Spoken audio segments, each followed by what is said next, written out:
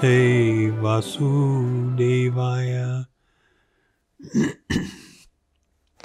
so, um, tonight, in continuation on the series Lessons from Lockdown, um, last week we talked about the need to actually have a guiding light in, in our life in order for us to become healthier and happier and more more purposeful.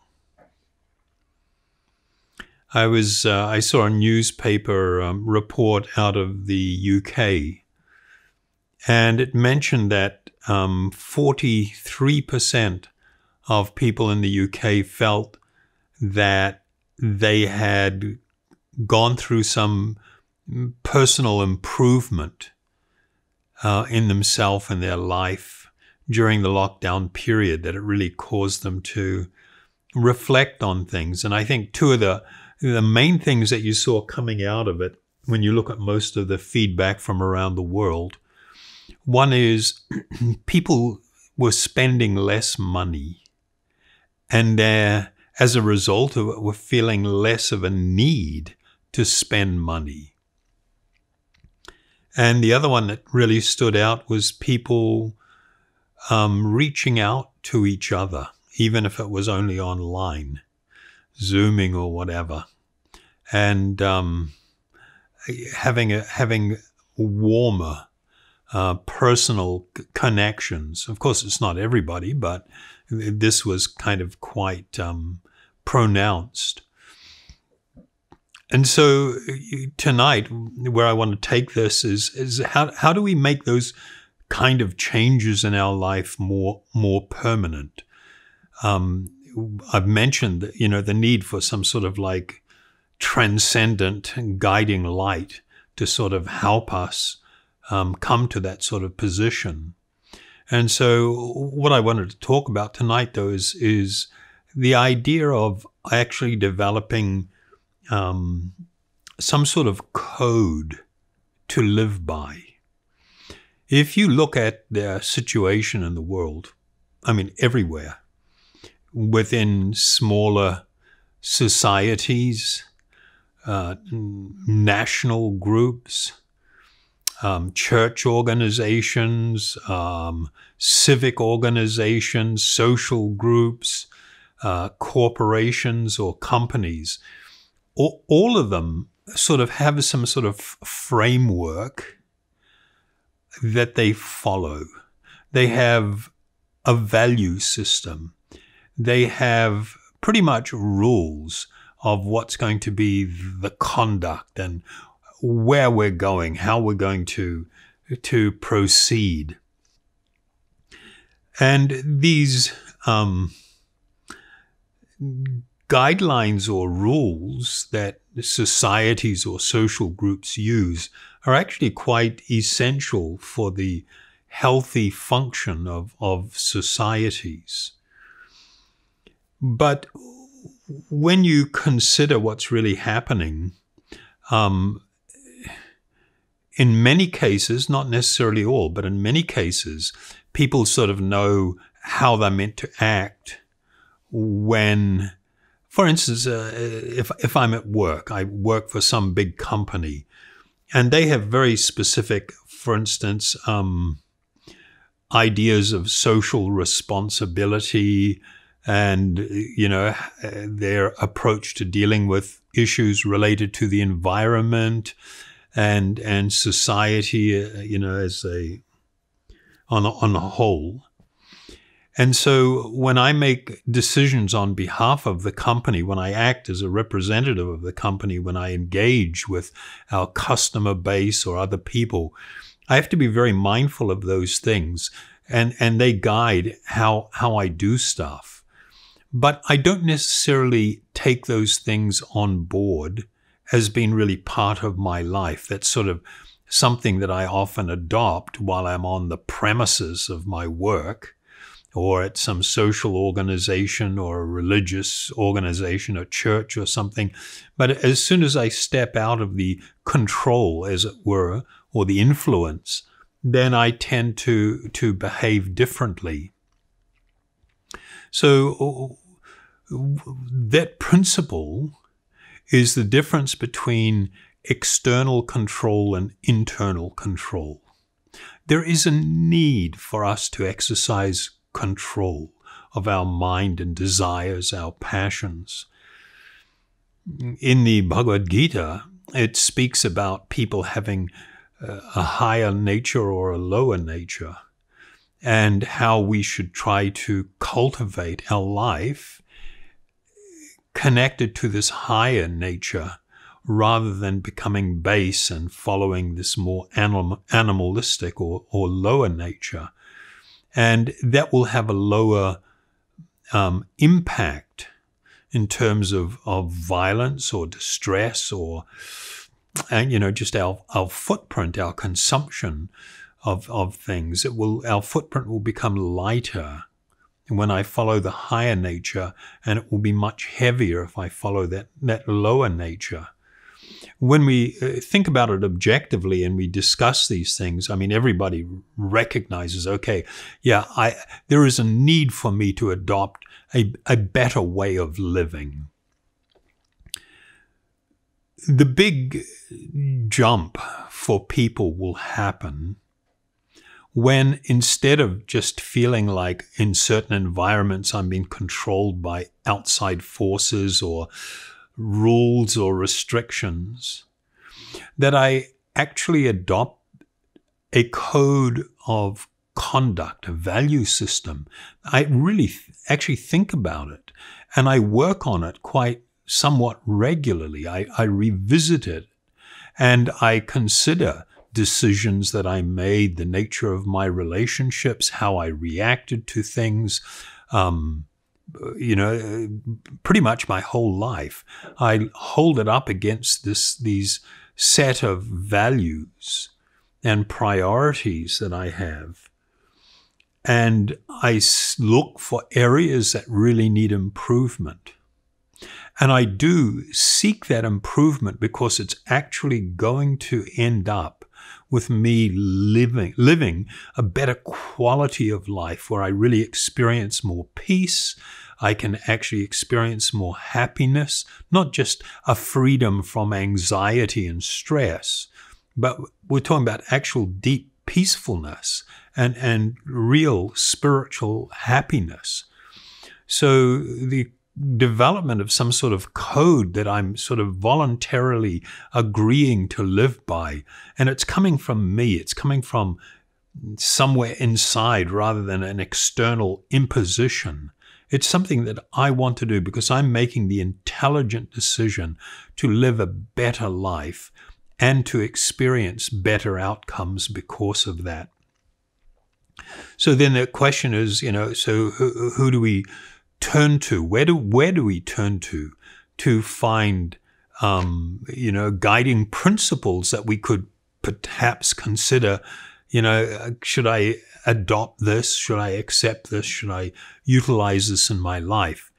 And it's always a little bit interesting to look at some sort of like well known examples. And of course, there's a myriad of examples, but I'll, I'll just look at a, a couple of things I just pulled up really quickly here. Um, you know, uh, the Rotary Club is really famous for what they call their four way test, meaning you test your decisions, you test your actions, your relationships, you test everything in your life um, with this this four way test. So um, the four things that they ask themselves is it the truth? If I'm going to say something, if I'm going to act on something, I'm going to be connected with someone, is am I am I living in truth? Is it the truth? Am I being honest? Am I being deceitful? Is it fair to all concerned? The decisions that I make, uh, my dealings with individuals, the actions that I take?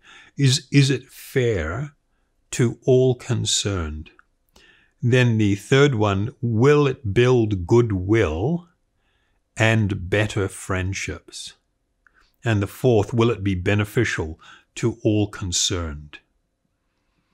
So, I mean, if we just utilize those four principles, then, you know, I, every time we, we did something major, and then uh, over time, even the, the less significant things in our life, and we use that as the yardstick, uh, we would be a better person. Our relationships and how we deal with others would be better.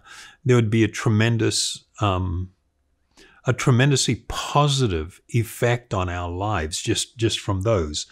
Um, pushing on a little bit further, um, Lions Club, another civic organization.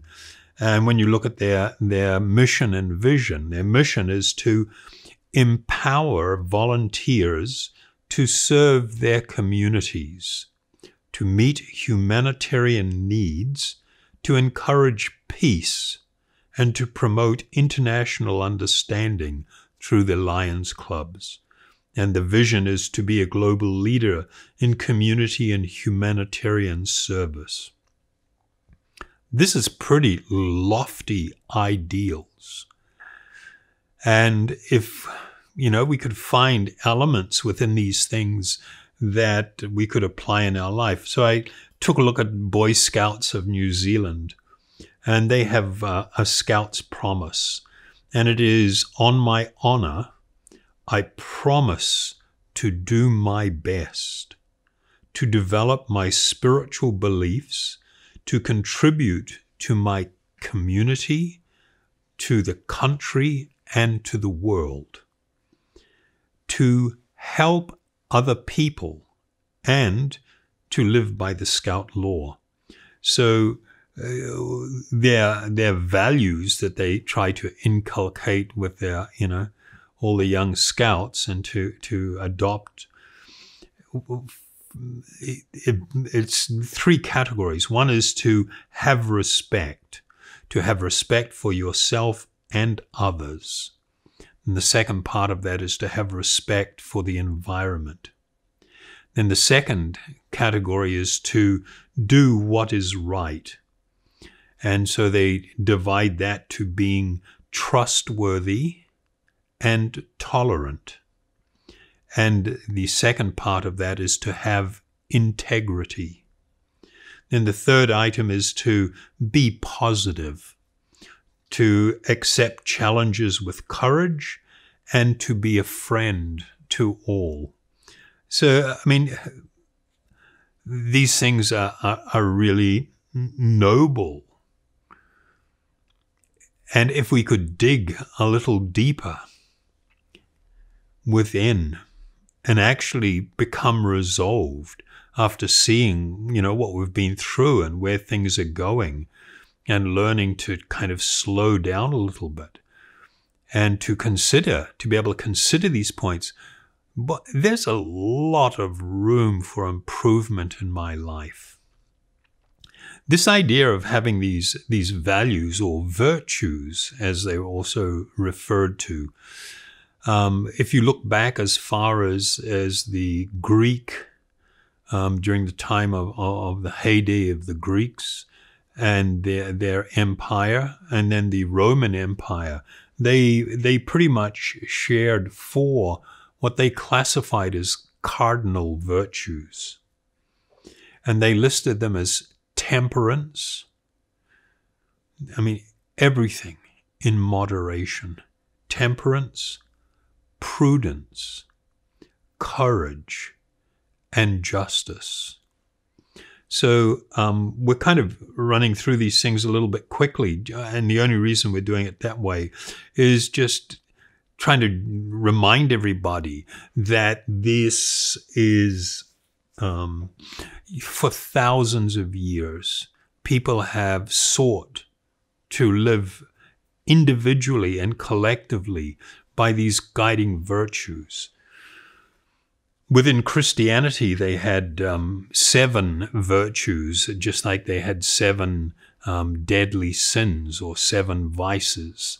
So there was also seven virtues. And they listed them as humility, kindness, temperance, chastity, patience, charity, and diligence. I mean, these, you know, a lot of people have got this kind of, you know, religion sort of like gone out of fashion with a lot of people for some reason or other. Um, uh, but the problem is when we don't like some particular thing or some person that we felt was a bit on the fanatical side or, you know, we've tended to throw the baby out with the bathwater. I mean, it's a, it's a fantastic um, idiom because, you know, that which is unwanted, the dirty bathwater needs to go. But the baby should not be thrown out. And even within, you know, almost all religions in the world, you know, um, Islam, uh, Judaism, um, Taoism, uh, Confucius, Confucius, and Buddha. I mean, you, you look at all the different religious traditions, and they all had these these shared values, and that's because these principles are really time tested and they I would refer to them as eternal and universal principles that guide us in how to become better as a person and how to live socially and and in relation to the world in which we live how to live more responsibly and caringly. The adoption of these types of things make a huge difference. The problem becomes when people, as I said earlier, they tend to embrace these things within, you know, they're in within the four walls of mm, figurative or literal of some institution or organization. But then as soon as they step out, they tend to completely, you know, or largely abandon these. And a, a big part of that is due to the utterly materialistic values that have been pushed and promoted, particularly over the last century. I feel that that society as a whole has been terribly um, undermined by the development of this idea of self importance, the rise of the self over all others, and the self as an intense consumer of things. Having this idea that the more active I can be, the more stuff I can consume, which of course all means the more money I have to spend, then somehow I will become happier. My life will be better. Whereas the truth is just the opposite. Just the opposite of this is true. To be more concerned about others than oneself. And I say that in, in a liberal and a thoughtful way, not, not you know, some people are going, oh, well, I shouldn't take care of my. No, nobody's saying that. You know, we need to take care of ourselves, most definitely. But when I put myself as being at the pinnacle of consideration, it's all about me. And then whatever I consider to be in my interest. And the problem there is a lot of the ideas that I've developed as to what's in my interest are not actually even coming from me. They've been planted there within the you know the framework of this society and this consumer economic system that we that we've that we're living in. So um, there is a need to get back to some basics and to consider what are some of the things that I could live by in the Ashtanga yoga process, the mystical yoga process, um, they they observed what were called uh, yama and niyama, the eightfold path of yoga. Um, these were the, the, the two foundational building blocks upon which a whole yoga lifestyle and practice was developed. Um, the term uh, yama refers to um, the control of the senses, where I don't just become enslaved by desire and my, and my senses demanding things, but I, I am the one in, in control of, of my life. And niyama were observances, um, the observance of specific sort of rules.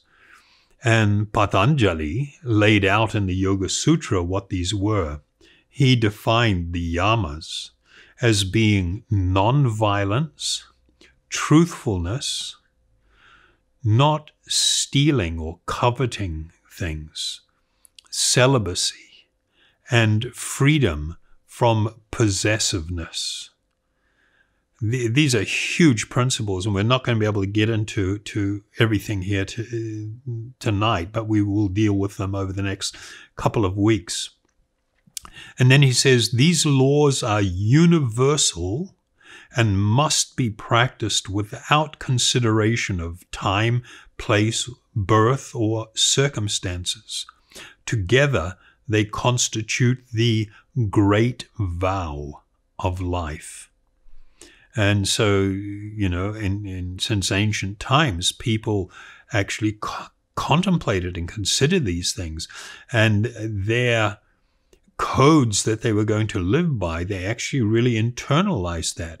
And they took a vow to actually really, really follow these things very diligently. The niyamas or observances are being laid out by Patanjali. He says they are internal and external purity, contentment, the acceptance of austerity, the recitation of sacred mantras, and the study of Vedic texts, and complete devotion and surrender to the Supreme Soul or Ishvara. So these were um, what he um, laid out as being not just advised, but actually an absolute requirement if one is going to seek spiritual enlightenment, liberation um, through the Ashtanga Yoga process. Things were a little bit different, not entirely, in, in relation to the bigger picture of the Vedic culture, which was, was broader in practices and and the practices of the different paths of yoga aside from from ashtanga yoga I don't know if you recall or if you heard, it was a few months back, I, I did a talk on, um, it was called The Words of a Dying Man. And we spoke about a great warrior and hero um, his name was Bhishma Deva, and he was uh, quite elderly. Um, he died on this on this battlefield. He was a great warrior, and he was a, a prince in the kingly class. He was an exemplary person, and many of his own um, grandsons were involved on both sides in this great, great battle. And we talked about how he was, you know, shot full of arrows, and when he fell, that not one part of his body was touching the ground. He had arrows going through all over his body. And yet, even in that condition, after the battle was completed, he retained the life within his body through yogic control and practice. And he spoke to his grandson who came to visit him along with other grandsons. And uh, his grandson, Yudhishthira, had refused to accept the throne, um, seeing how many people had died in that battle. and he spoke to Yudhishthira um, for an extended period of time, even in that frightful condition. Uh, and asked him to really reconsider and that he should accept the great austerity of becoming a true leader and being responsible for those in his care. And in the lengthy discourse that he gave, he spoke about what he considered um, nine qualifications.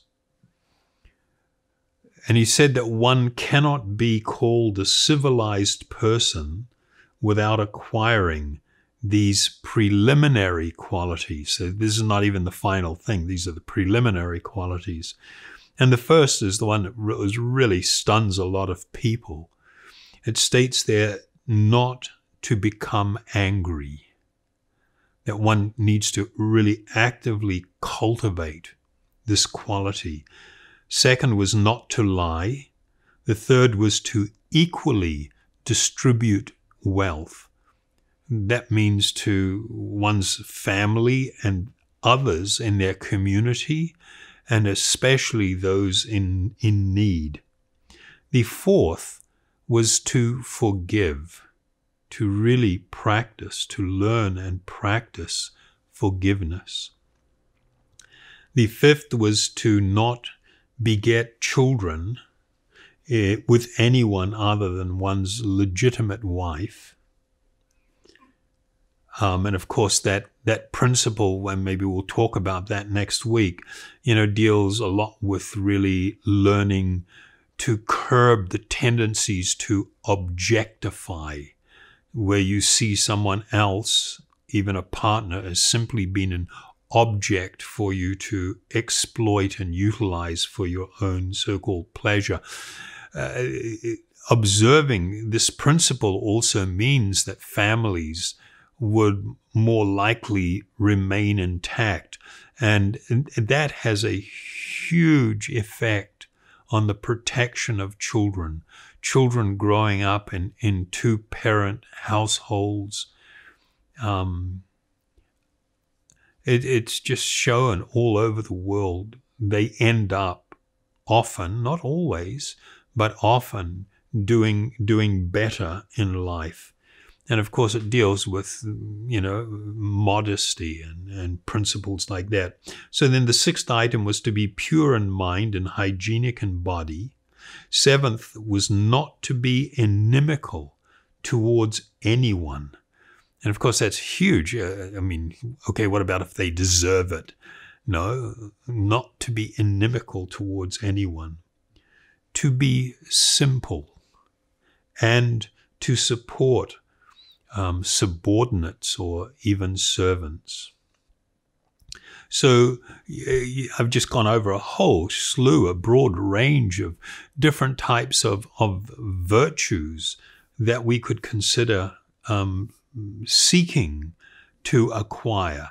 And what I'd like to do next week is to focus on a list of things that were, it's not the whole thing, but um, a list of virtues or qualities that were considered important that anyone who is seeking to live a better life, to try and become a better person, to become peaceful, to taste happiness in this lifetime, that it is absolutely essential that from these items that we'll talk about, that you actually build some sort of list, a code by which you, over time, become very committed to, to living by. If we want to, the, the world to become a better place, we don't have the power to make that happen. But we do have the power to become a better person and by doing that, then we will have the um, we will have an effect on those uh, particularly our own family members and children. Um, we will become examples and we will demonstrate in our by our own life how it is possible to live as a better person in a very humble condition to live as a better person so um, that's it we'll get into some uh, detail on, on some of these things or a suggested list that you may consider. But I really, you know, give you a little one week challenge here. How about really thinking about building some sort of list yourself of things that you think you could adopt or should adopt in order to begin, even if it's just a beginning, to live a better life. Thank you very, very much. So, of course, the we know that the thing that's really going to make a difference uh, in helping people come to experience these internal changes and to make it easier it's going to be through this pro- a process of meditation. So we will chant these transcendental sounds, these mantras, and in doing so, our hearts and minds become purified. We can see with more clarity. We are less pulled by just the mind and the passions. We can be a little bit dispassionate and step back a little bit and look at things and consider what is the appropriate way forward for us in this lifetime. So we will chant the mantra um, Haribol Nitai Gaur, Nitai Gaur Haribol.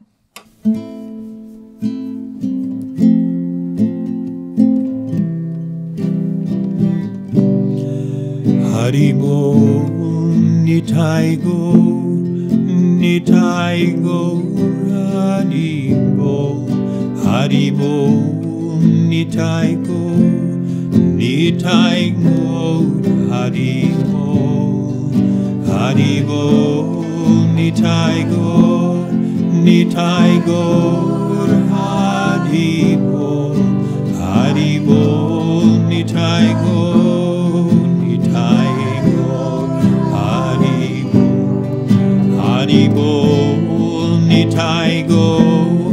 Nitai Taigo Haribol Haribol Nitaigo Nitaigo Haribol Haribol Nitaigo Nitaigo Haribol Haribol Nitaigo Haribol